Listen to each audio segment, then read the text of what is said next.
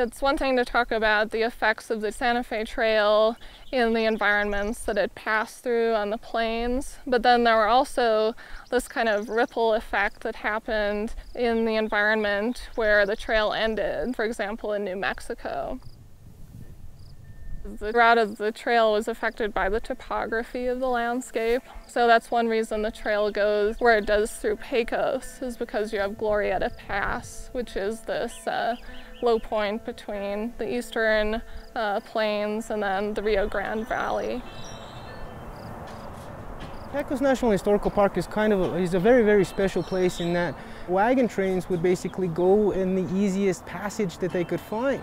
Now, as you neared the Glorieta Pass, these wagon trains began to basically funnel or began to kind of consolidate into what would be considered a corridor. It's an easy passage, stays open all year round, very, very rarely ever gets snowed in for any length of time, stays at that 7,000 foot elevation. People have been passing through the Pecos area for centuries upon centuries.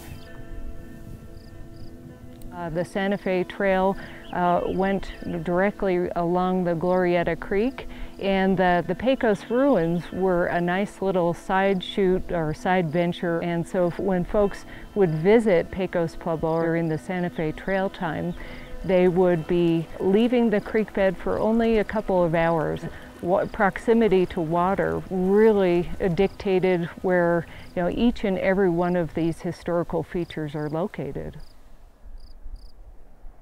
So we're here standing here at Pigeons Ranch, which is a stage stop and ranch operated by Alexander Valle during the time of the, or at the height of the Santa Fe Trail. The proprietor of this particular establishment is trying to capture any and all travelers to go right through the center of his establishment.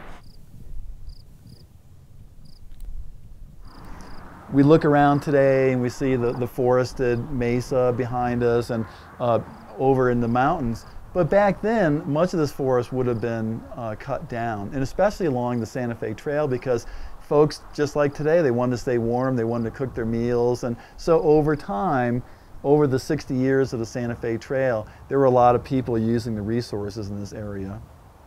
This building that we're at right now uh, was Kozlowski's stage stop, and he constructed this um, upon his arrival out here in 1858, and this became a, a popular stop along the Santa Fe Trail. A project uh, was funded for kochia weed, which is invasive into archaeological structures, underground archaeological uh, sites. And that's a, in and of itself, you'd think of it as a natural resource project, but no, you know, of course, it's affecting the cultural resource. There are the, uh, the, the sites themselves, you know, so I always think of visitors with their, their guidebook in their hand. They're looking down, looking at the sketch, looking up, looking down, looking up, looking down.